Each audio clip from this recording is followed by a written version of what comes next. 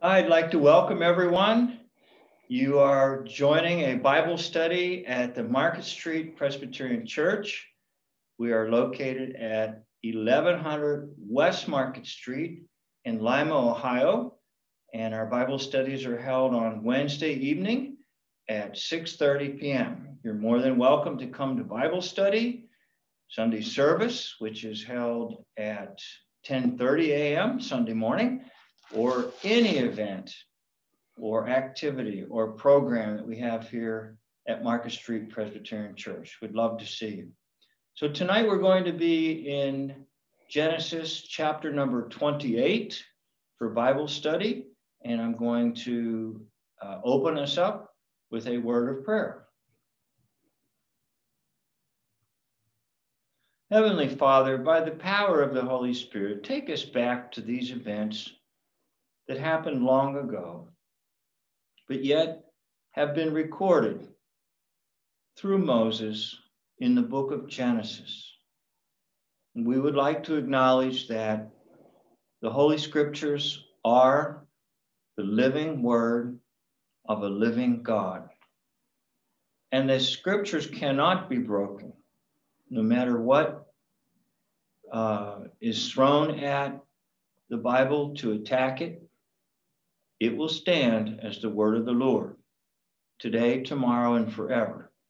So help us to learn from this, your word, and help us to grow in and through your word, that your name might be glorified and the saints who are participating in this study are edified. We pray it all in Jesus' name. Amen. Amen. So we currently have three online and two here at the church. So we're going to be in Genesis chapter number 28, and whatever uh, version of scripture you have is fine. And I'm going to ask for readers here at the church, and I will see if I have a reader for Genesis 28, verses 1 and 2.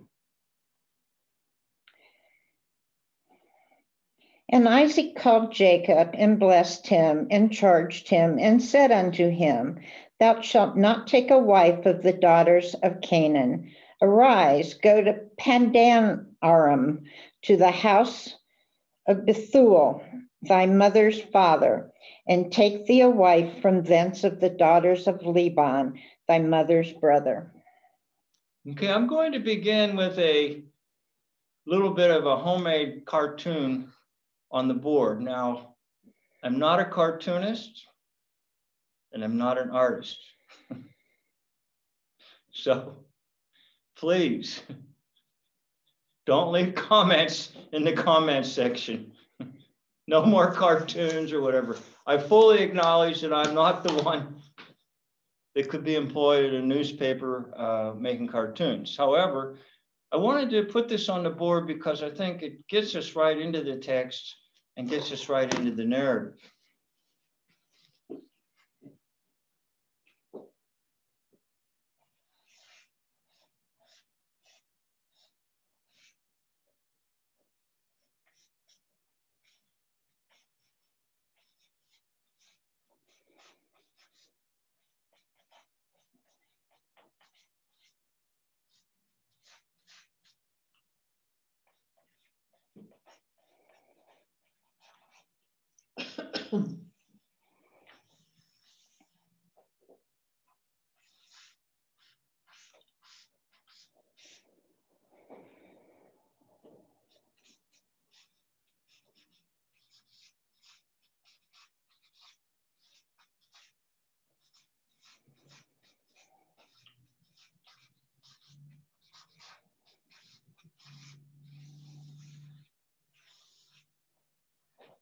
Okay, so you can see I got two characters on the board.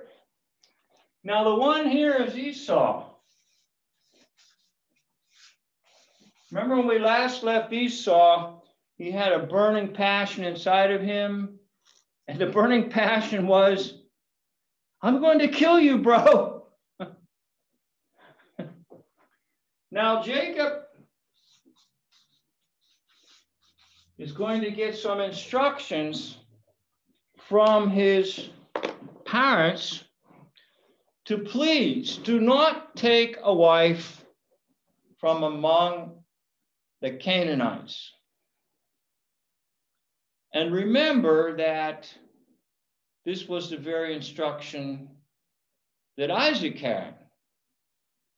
And he went back to the land, his homeland, and found Rebekah. So he wants Jacob to do the same. Now, if we could rephrase it, I will rephrase it like this Jacob, do not get an ungodly wife. Jacob, do not get a wife who is under the influence of false gods. Jacob, do not get an immoral wife who has no sense of morality and no sense of right or wrong. Therefore, you've got to go back to that land where I found my precious bride, Rebecca. So, in this little cartoon, by the way, you won't find this in any uh, comic book or any book. I made it up myself. All right, it's an original, and you can you can um, you can tell me it's not so great. I don't care. But I wanted to get you right into the text that you've got somebody who's pushing forward, and that's Jacob. And then you've got somebody kind of telling him uh, in life with a with a really bad motive. Remember, he's still hot. He's still he's still uh, upset with his brother, even though he shouldn't be, but he is. Okay, so Jacob's on his way to find himself a godly wife. Okay. So the next thing we're going to see here is a reaffirmation of the covenant. Okay, a reaffirmation. In other words, God made his promises to, you know what, it might be a good time to put this on the board too, because this is kind of uh,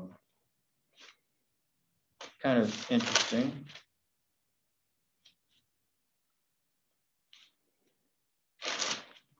Ah, here we are. I had to find it in my notes.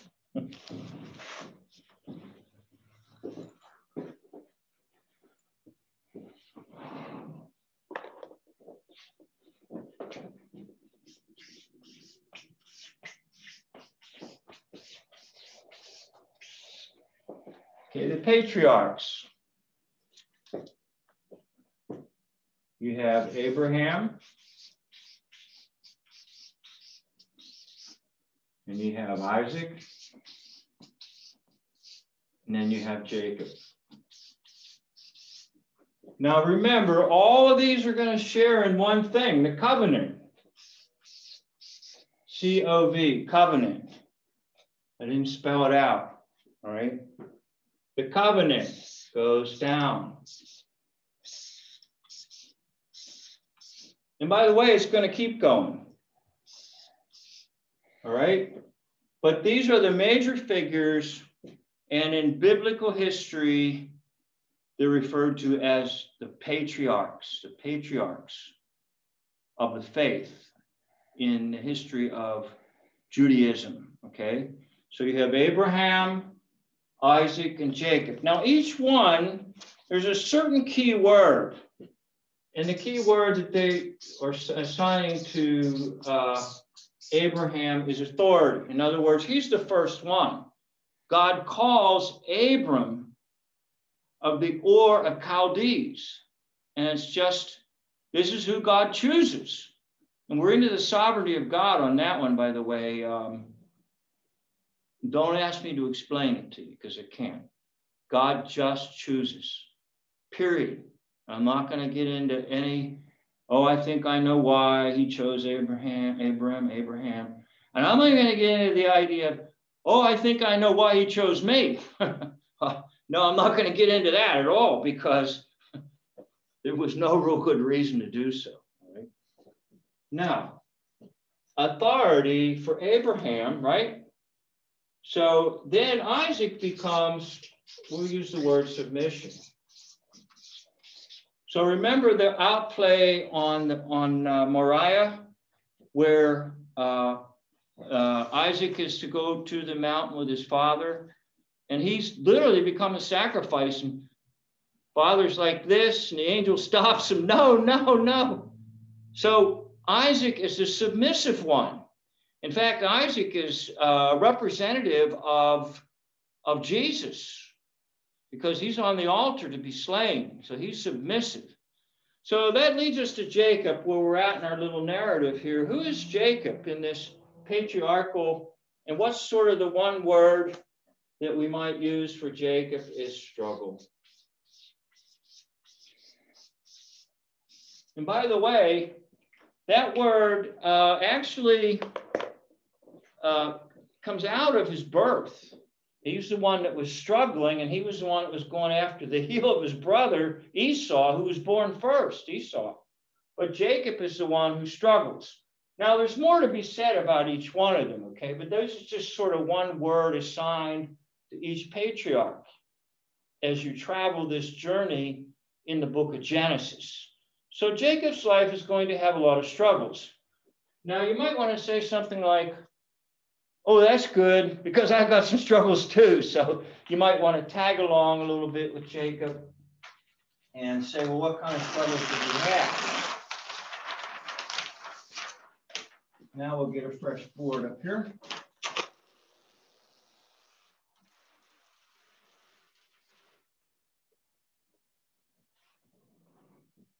I like to write rather big so you can see it.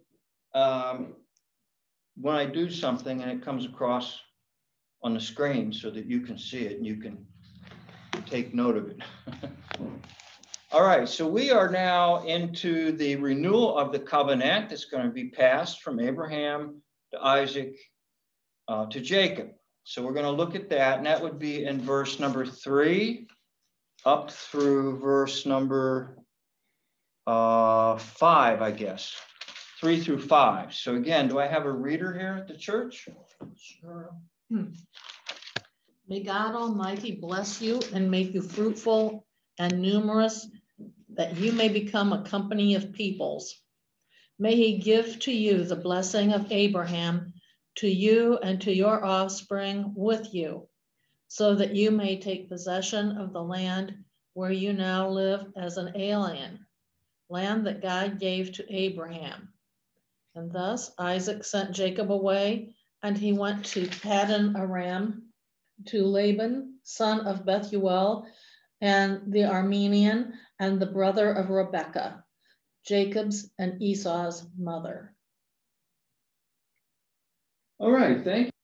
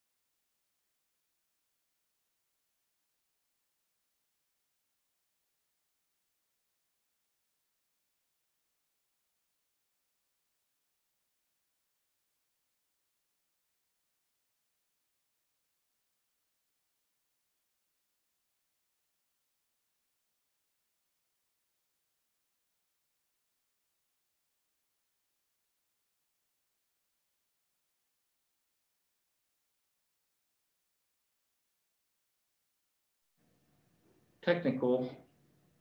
Okay. So please pardon us for just a moment. It's good. I think we're okay now. All right, thank you, Diane, whatever it was. Okay, so El Shaddai, God, all powerful. Now, why is it important to use that particular uh, phraseology or title for God in the Hebrew language? Because there's different ways of expressing God, okay?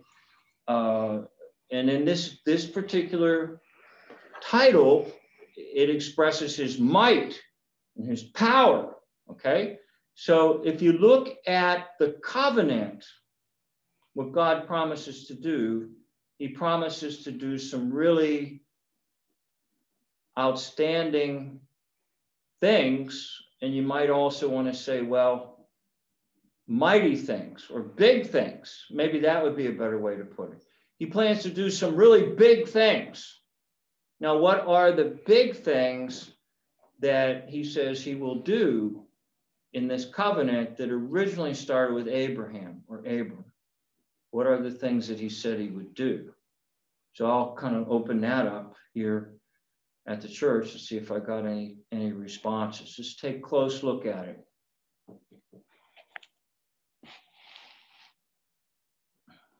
It's going to give the blessing of Abraham. Right, right. The blessing that originally came with Abraham. Okay. And then remember what that all included. Okay, that included a, a large number of people, right? And it also included a land. Now remember, the land isn't really theirs yet, okay? That's not going to happen for quite some time. It will happen under the efforts of Joshua. Okay, Joshua will clear the land, so to speak, and allow the Israelites to come in and fully settle in the land. Right now, it's basically just a promise. So it's a pretty big large promise to make. And Moses, in his, in his wisdom, as he's under the Spirit, under the influence of, under the power of the Holy Spirit, will select the title El Shaddai, God all powerful. Okay? Because if you look at what the promises are, you'd say, well, I don't know about, about this sort of thing. Uh, this God better be mighty and greater than any of these other gods around here. Okay. And that's exactly what that title is all powerful, almighty. Okay. So we have it established that the covenant is going to go down through the line, the holy seed from Abraham to Isaac, uh, to Jacob.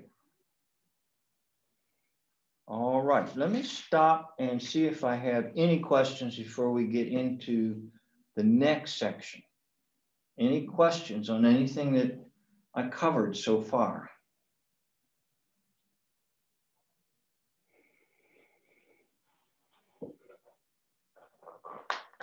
All right. So what we're going to do is go on to the next uh, section. And that section will begin at verse number six.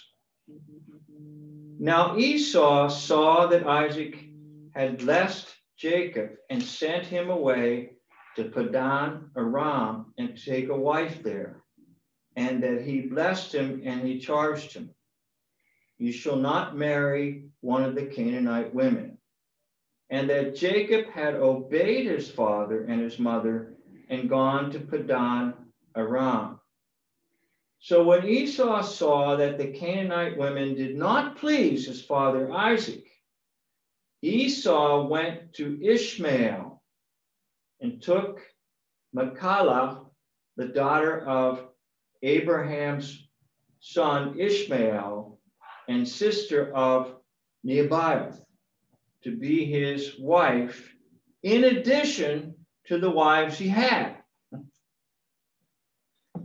Now, I don't know if you ever in your family life, whether growing up as a child or perhaps after you had family and had had children or still have children in the household, we all can probably relate some story to the topic of sibling rivalry. Who's going to be the best one? Who's going to get the most favor of mom and dad? Who's going to be the most successful?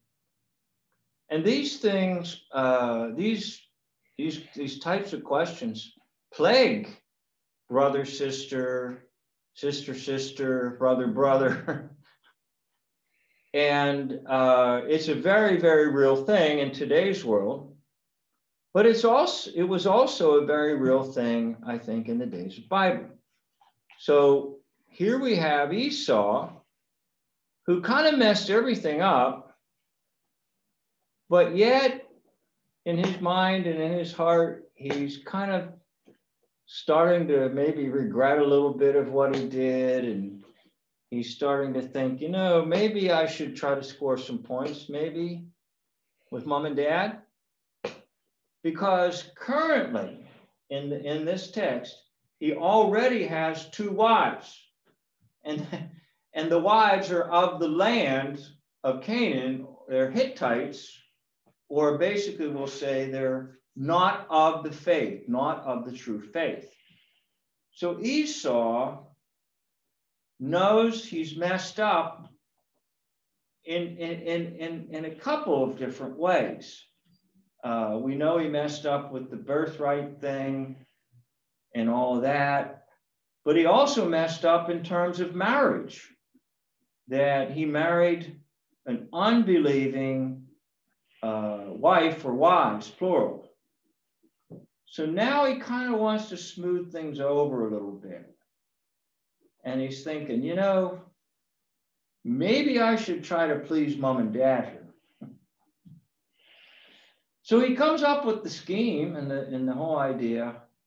Well, I'll go to uh, Ishmael's line, that is my father's brother, sort of, sort of stepbrother. Um, and I'll see if I can find me a wife. and indeed, that's what he does. Now, in one sense of the word, uh, the commentators on this particular topic will have a little bit of praise for Esau. But yet, in the same breath, they will say he falls short. Now, here's why they say that because he went to Ishmael's line. Now, this will sound a little funny, maybe if you're a man, maybe if you're a lady, might have a little bit of a tiny bit of offense to you, but the good women are not here, they're over there. The good women are not in this area. You got to go 500 miles from here if you want yourself a good woman. All right. Well, that's that's kind of the general idea of it, and I try to dramatize things a little bit so you get it. All right. And I know maybe once in a while how I present things might be a little rough or a little bit. But listen, that's just the way it was. The bad women were in the land where they were. They were foreigners in a land. They were they were they were uh, they were uh, people in a sense that really didn't belong there. Okay, not yet. They will later. But remember, the land hasn't been taken and everything like that. They're still in a very ungodly land. But the godly women are where? They're over yonder. put a little southern touch to it. They're over yonder, right? And over yonder is, well, a good 500 miles away, maybe 600, all right?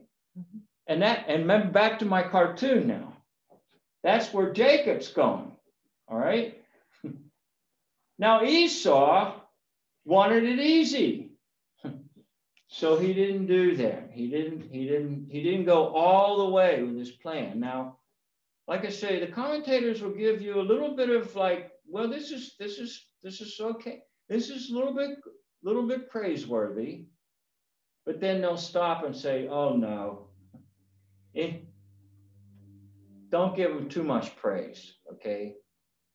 Because he did not do as his mother and father would have wanted. Now, how do we know that?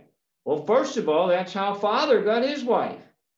It was no easy journey for Isaac uh, to go all the way back to um, to the to the homeland.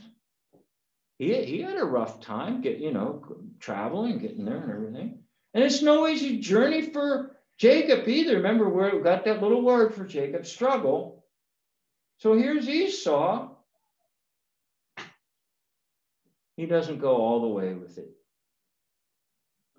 So there's a little bit of grace there, maybe for Esau, but it just doesn't really quite cut it. So let me do a little bit of sermonizing and preaching. Maybe I already have, all right? You know, that's just the way it is today, honestly. I mean, the world today does not want someone to say genuine Christianity is a full commitment. The world today wants people to say, well, you can, you can sort of be like Esau and just do a little bit and give a little bit to God and, you know. And in a way, there's some praise to that. But if you want to know the real story and you want to know what God really wants, he wants all of you. He doesn't want just a tiny wee bit. He doesn't want just a certain day. He doesn't want just a certain area. He wants you from head to toe. He wants your outside, your body, and he wants your inside. Now, it's just that simple. And that's not what people want to hear, right? But Jacob went all the way, and Esau kind of went a little bit of the way. And that's kind of the difference there um, in this particular section that we're dealing with, okay? So let me stop right there and see if I have any reaction or comments or anything before we get into the next section. All right, I've got a little bit of, uh, of a silence here on this end. So we're gonna we're gonna proceed on to the next section. And this, this is a real interesting section. And I think we'll take it to verse number 15, go from 10 uh, to 15. 10 to 15. Do I have a reader on that?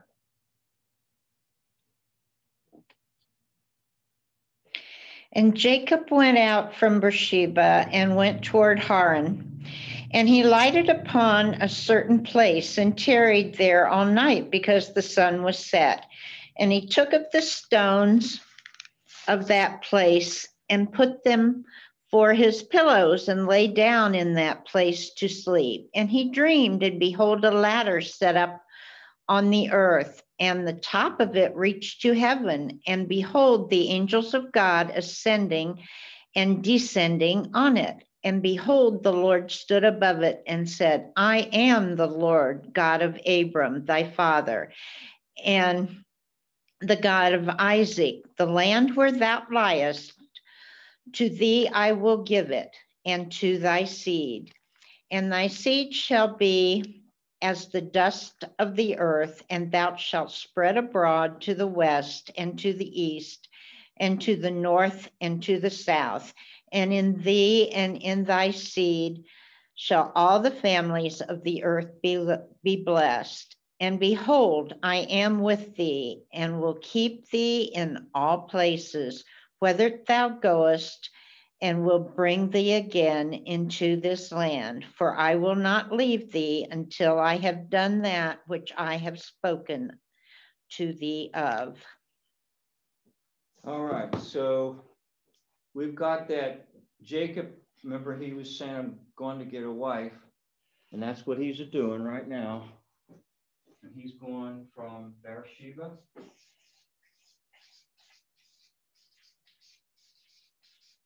to Haran. Now I'm just going to put down here approximately 500.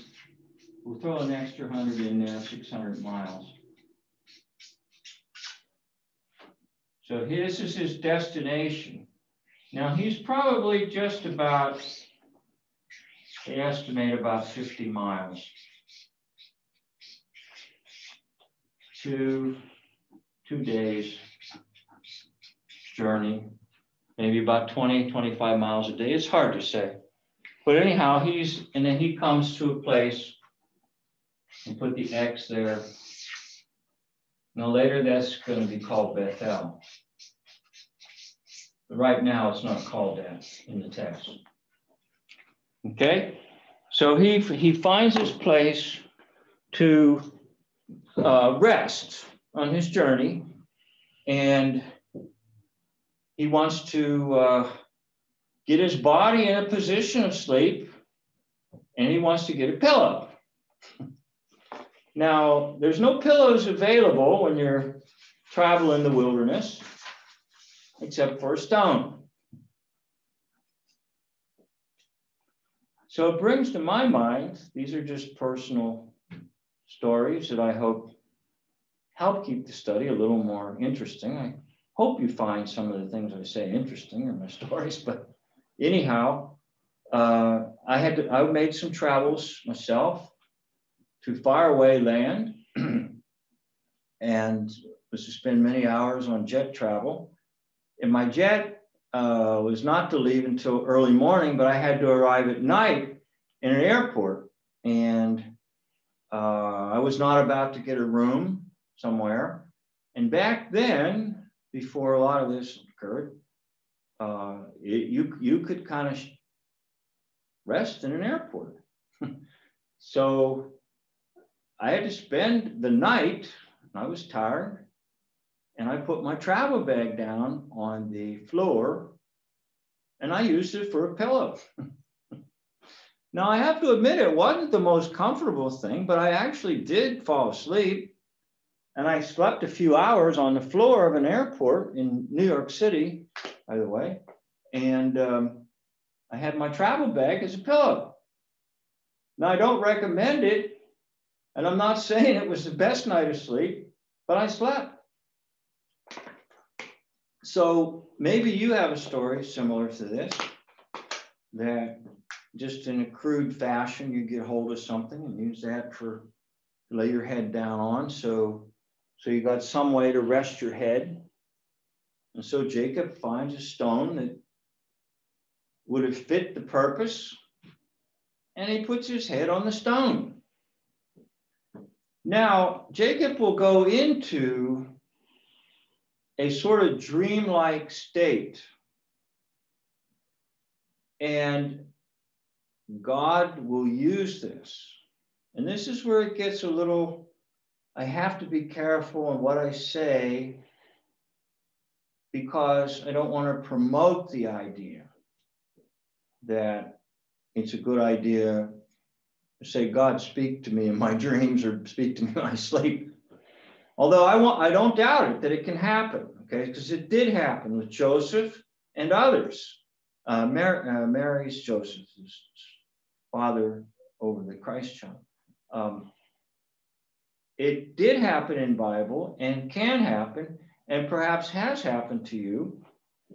But in this situation, it's Jacob on a stone, and he goes into a state that uh, produces a vision of some sort.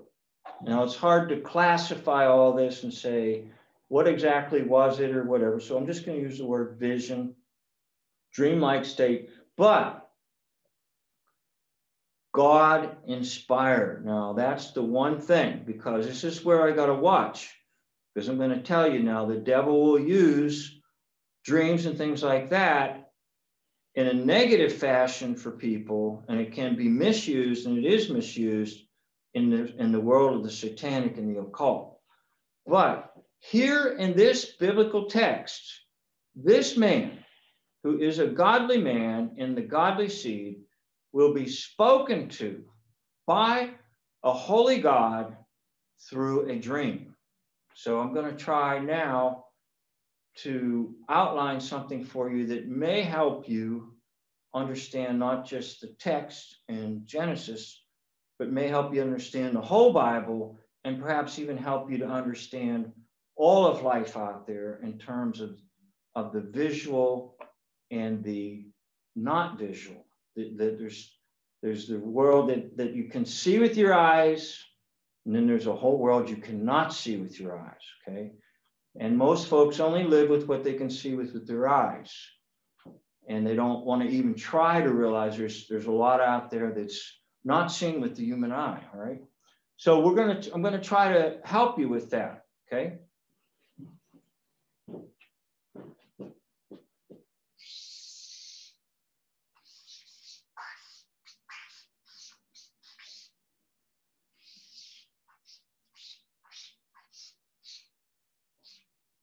Okay, that's you.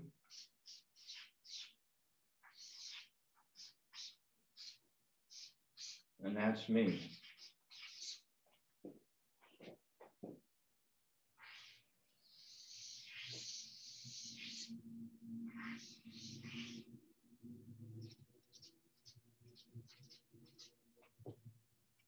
Okay, and this is the sun, and this is the moon and these are the stars. Okay, so I'm not trying to make it too accurate, just to give you an idea. This is what you see with your eyes.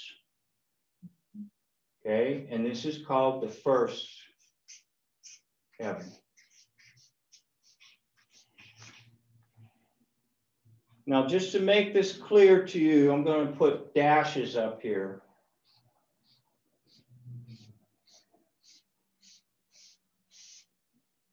As a line or marker, there is a second heaven.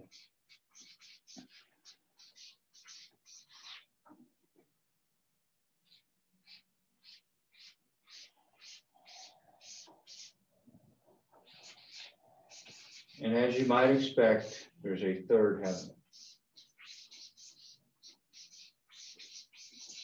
Now you can find biblical reference for this um, in the where Paul says, I know a man who's caught up into the third heaven. This is biblical now. This is not just, you know, me rambling, okay? All right, now the third heaven is where God dwells. And I'm going to put here uh, and the and the uh, saints triumphant.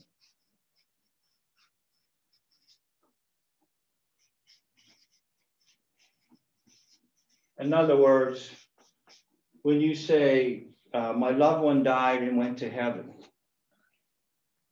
okay, that's the third heaven. That's Zion. That's where God dwells. Now, this second heaven is kind of an intermediary. And this second heaven, you can have good angels coming down through it, but it also is inhabited by fallen angels. And these are where the powers and principalities are that Paul talks about in Ephesians 6.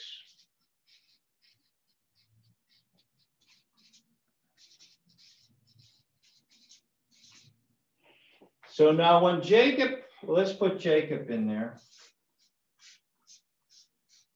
This is Jacob. And he's just doing what you do. He sees the moon at night, sees the stars. When he dreams, he will get a ladder.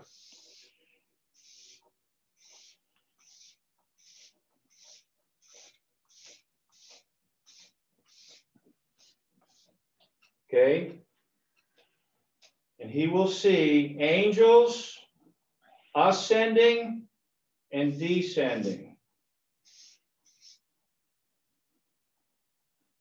And that ladder will connect the first, second, and third heaven. Now that's that's why this is a little hard to understand because it's a it's a gate of heaven. And that's exactly how it's going to be called in Holy Scripture here when we get to the end of this text. Okay. It's as if God is saying, there's more to life than what you see with your eyes. And once again, that's that's a problem for a lot of folks because they can't go beyond the idea that the only thing to life is what you see with, with your eyes and touch with your hands. Now, I'm not saying uh, that, that, that, that that isn't a fact. That is a fact. What you see with your eyes and touch with your hands is there. However, there's more there than meets the eye, so to speak. Okay. And by the way, that's why Jesus said, He who has eyes, uh, let him, and he who has ears, let him hear, and then he who has eyes, let him see. Okay. And that's why I think he was always healing the blind because he's physically dramatizing the idea that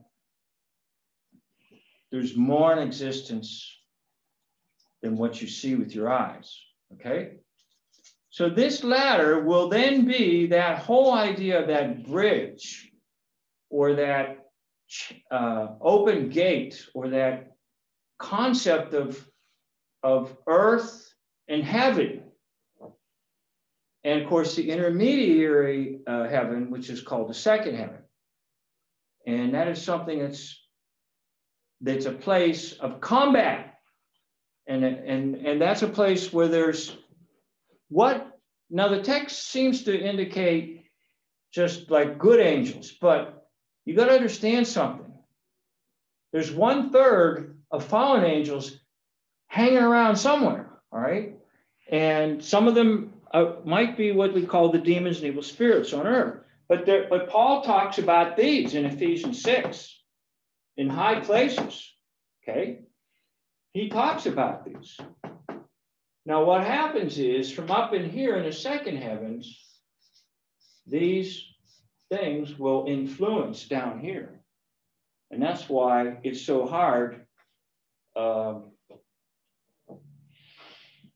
I don't know how to put this. That's why no matter how hard you try, or I try, you want to change the world, you may make a little difference somewhere, but ultimately, the ones that really sort of run the show are up here, okay? Because they are the powers and principalities. Now, Jacob's ladder showed the angels ascending and descending. Okay, and it didn't specify uh, the types of angels, but the assumption is they're all just good angels. But we know from New Testament that that second heavens also is a place of warfare. Now, Daniel also tells us too, because Daniel uh, prayed and an angel was to come, and the angel said, I got delayed. My flight was delayed. What he meant was he couldn't get through the second heaven because, see, they battle, they battle up there. And it's a little hard for people to understand. And it took me many years to understand it myself personally. But I believe it is absolutely true, and it is Bible that I'm giving you. Okay.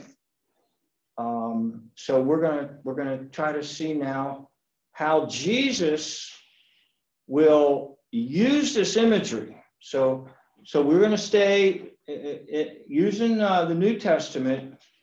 We're going to jump now to the Gospel of John, the Gospel of John, and then this will this will throw a little more on it for you. John, 1. Forty-five to fifty-one.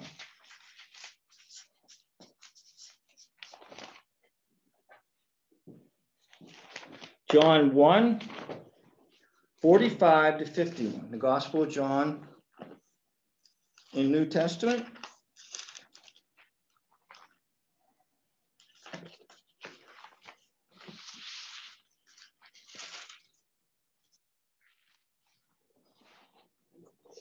Okay, so let me see if I have a reader here. And if not, I'll take it myself. I'm sure I gave 45 and 51. Yeah, that's it.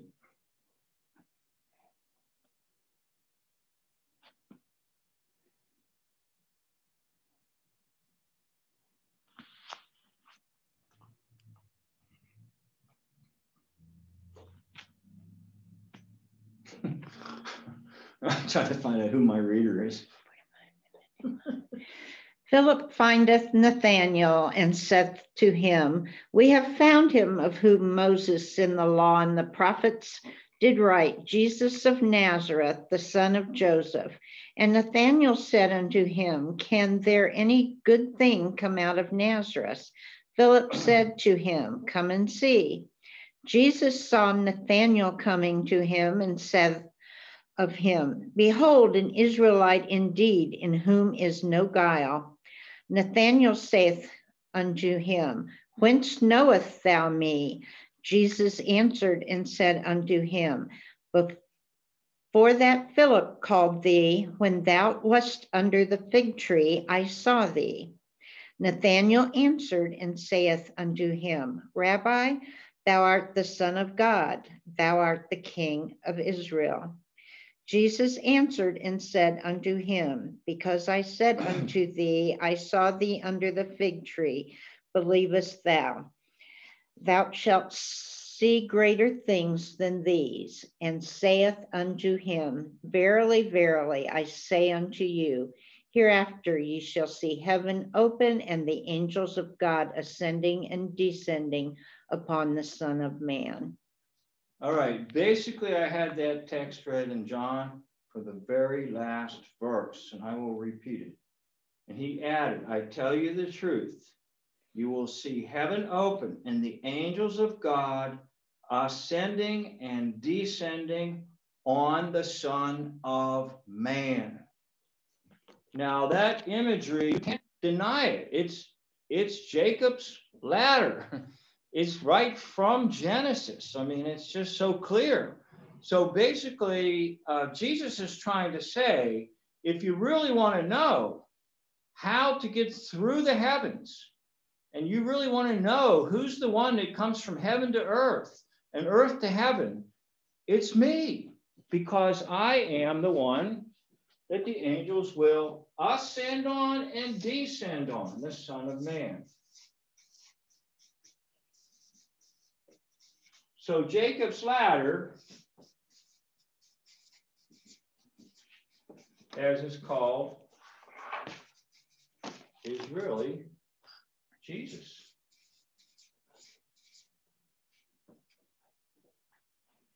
Okay, that's your New Testament interpretation of the Old Testament. Now, when do they ascend and descend on Jesus? Well, we saw some of it in his earthly life, but a lot of scholars believe that this is a reference to when Jesus returns. In other words, probably physically, with your human eyes, you literally will see the Son of Man, and you literally will see a whole bunch of angels just sort of hanging around him, going up and down and around him. And it's like they're just saying, tell us what to do, tell us what to do when he comes. Now, most likely that's the best interpretation. Now, I try my best to give you the best, and I realize that sometimes there's uh, opposing views or different thoughts or whatever. But if you look at the text and you look at the narrative there, you cannot deny that it's almost verbatim out of Genesis 28. Mm-hmm. Okay? So, who is the bridge between earth and heaven? Jesus. Who is the one that can smash through the heavens and take you right to the Heavenly Father? Jesus. And that's why in prayer, you use the name of Jesus. You use the name of Jesus. And uh, just a while back, the military slammed down on the chaplains and said, You can pray, but you don't use the name of Jesus. Hmm. And that that really shook a lot of chaplains, Christian chaplains. You can you can have a, a prayer, a generic prayer. We don't care about that. It's just you're not going to do anything specific to say there's only one ladder to heaven. There's only one bridge. There's only one way. And that really, really, really went right through the whole chaplaincy of all the military branches. I know a little something about it because I actually was interviewed for a position one time. Uh, I probably would not have taken it, but I took the interview just for sort of the experience and the fun of it. it was for a chaplaincy position. And um, the commanding officer and the one who was doing the hiring, they were both on the line and they told me that. You can you can say a prayer, it's a they call it generic prayer. They don't want no brand names on it. Okay, no brand names. And I've seen a little bit of this filter its way into churches too. And I'm going to tell you something. There's only one ladder to heaven, it's Jesus. And you better pay attention to it because he is the way, the truth, and the life. All right. So there you go. I'm preaching to you now, whoever you are.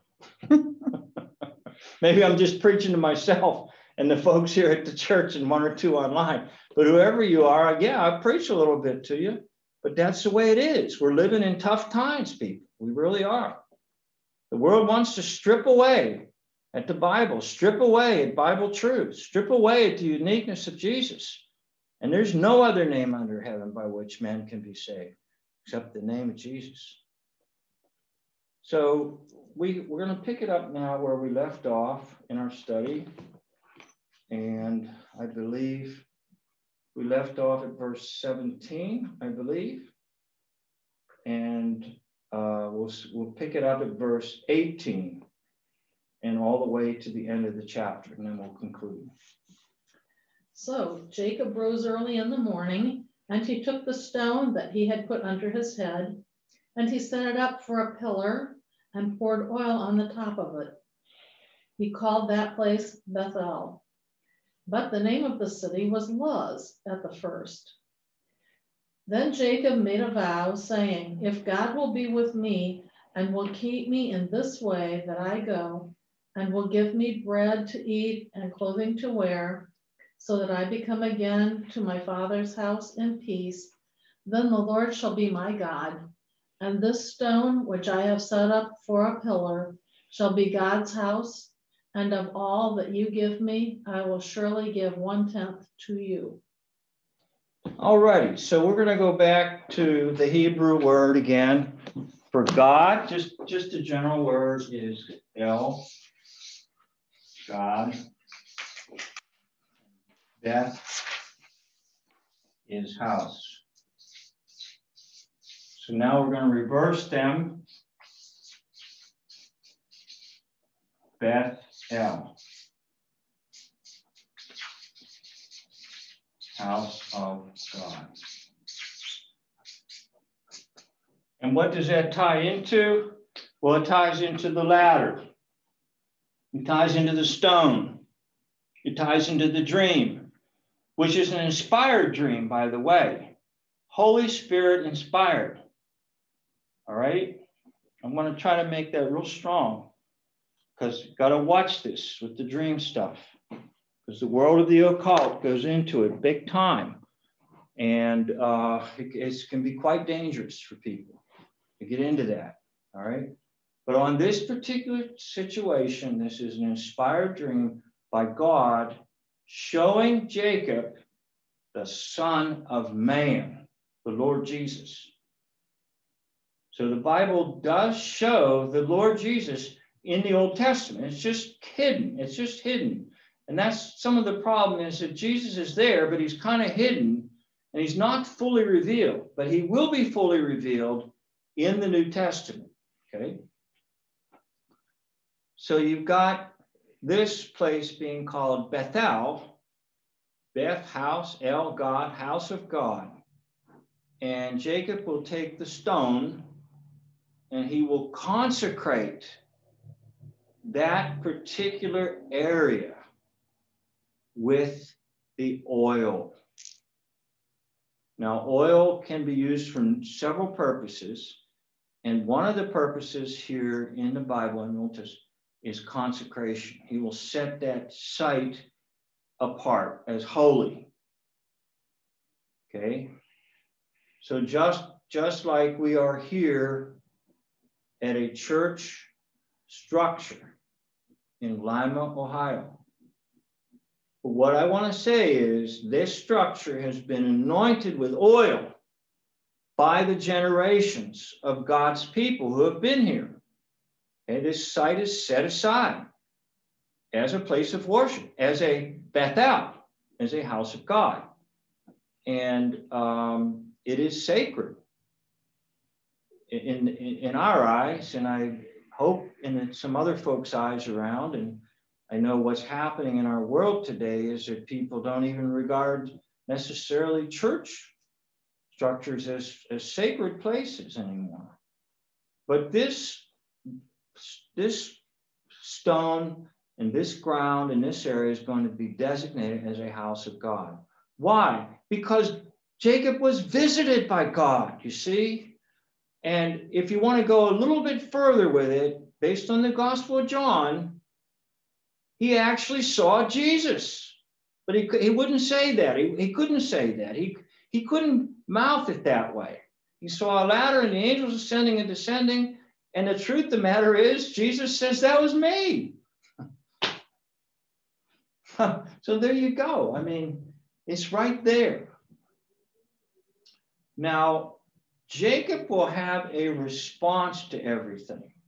And that's how we conclude this portion of Holy Scripture with his response to everything that has happened thus far. He sets up the area as holy, but then he makes a decision to do something. And what is it that he decides to do? Look at the very last verse the very last verse. He will tithe. Right. I will give a tithe.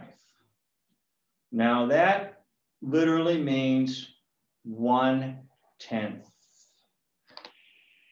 Now I want to say this to you. Um, I might as well put it on the board too, because I like to put things on the board. So I hope you don't mind it.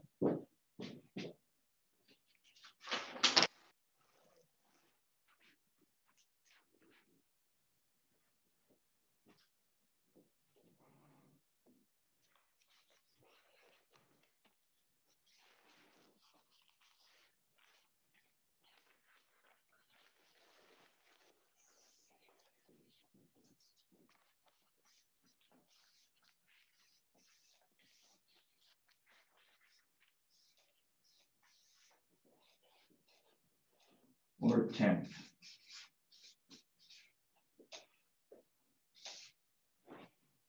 Okay, so at first, we see it modeled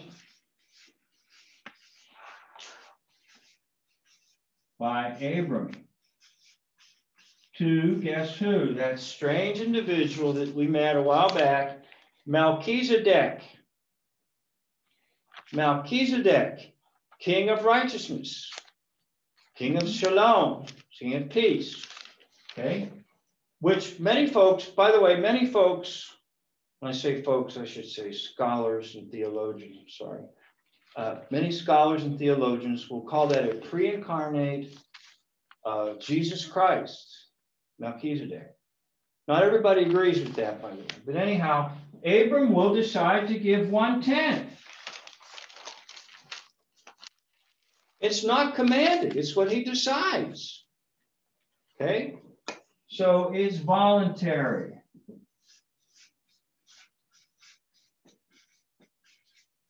At first. Then it's going to go to being commanded. And that would be in your Deuteronomy and Leviticus. Okay? Now that's going to sort of carry its way over into the New uh, Testament, but eventually it's going to be dropped. Not under law.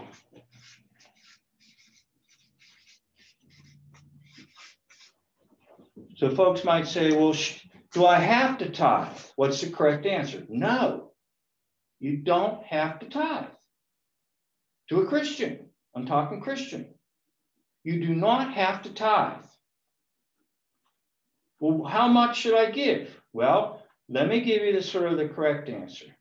Give as your heart inspires you to give. Now, I know there's a lot of churches out there that, that will insist that you tithe, all right? In fact, I know of a church uh, when I was serving in Pennsylvania, it was the latest and greatest and had everything, all the programs and all the latest and all the excitement and everything and expanding facilities and all that there. And I found out that if you wanted to be a member, you were required to bring in your W 2 statements. And you and they monitor you. Now, I'm talking about a modern church. I don't want to say name, I don't want to say domination. But no, no, no, that's incorrect. That's what? Law. Are you under law? No. You're under the Spirit. So the correct answer is you give as as led or as inspired.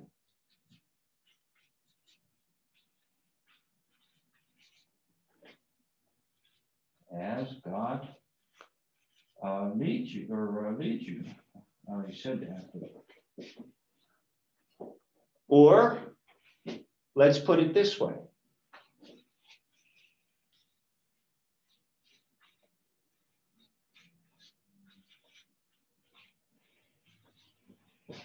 What will make you a cheerful giver? What will make you a cheerful giver? Well, I'm going to tell you one thing. Now, Market Street doesn't do this. So please, if you hear me say that's incorrect. But I'm going to tell you one thing. If Market Street said, every member, we want to see your W 2 form and we're going to monitor you, I don't think we'd have cheerful givers. do you? Do you? No, I don't think so. You're going to come to this table and show me your W 2 statement now, listen, I, I, am serious about this. There are churches that do that now, okay? Mm-hmm. Now, you be a cheerful giver. Do I have to tithe? No. What might make me cheerful? Now, see, this, this, this is where it gets, well, maybe, just maybe, you might be cheerful if you tithe, all right? But it doesn't mean you have to. Doesn't mean you have to. Okay? Does not mean you have to.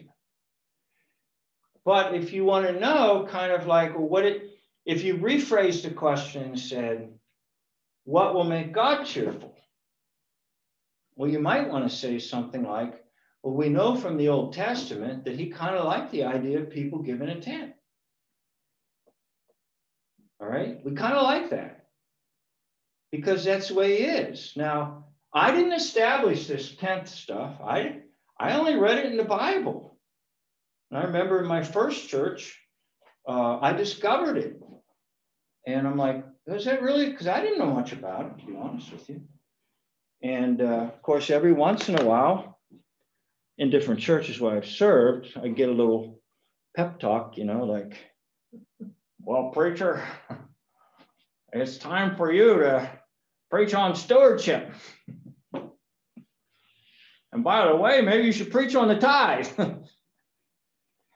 but you know, in all honesty, it's far better to not really push people and to let people discover it.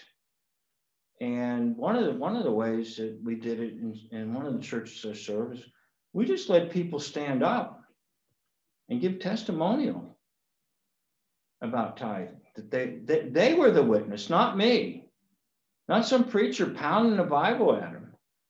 And it was pretty effective, by the way, just to let regular folks stand up and say, you know, I've been doing this, and I want to tell you something. It's a joy. And I want to tell you something. It's wonderful uh, in my life. So Jacob will voluntarily give a tenth.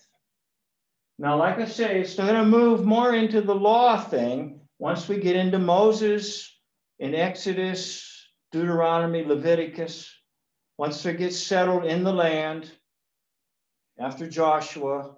But for right now, this is all voluntary, and it came from Abram to, to Melchizedek.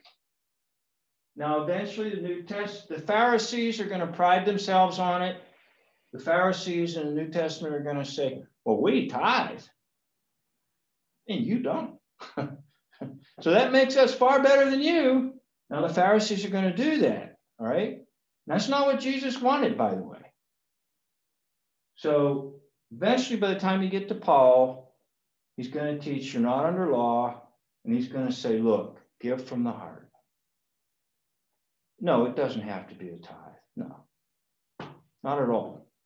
But just be a cheerful giver and want to give. And that's kind of where Paul leaves it like, you want to find some blessings in life? You want to find that you can really do some good in life, you'll find it in giving. Okay, so the tithe is optional uh, in New Testament. It's not law, it's not insisted on, and it is something that comes right out of the biblical text through the patriarchs, beginning with Abram, and now we see it in Jacob. I think I've said enough, and I'd like to stop here and see if I have any questions to entertain or respond to, or any comments, or any additions, or possibly any corrections. Uh, anything that I've said thus far, and in particular to this last narrative here.